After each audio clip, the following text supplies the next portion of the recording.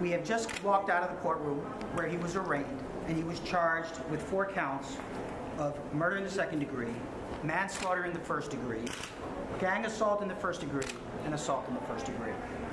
He entered a plea of not guilty. My staff and I have been working this case relentlessly since Saturday when family retained us.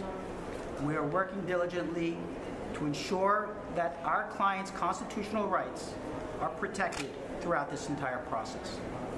We understand, and the family of my client have expressed that their hearts go out to the victims in this case.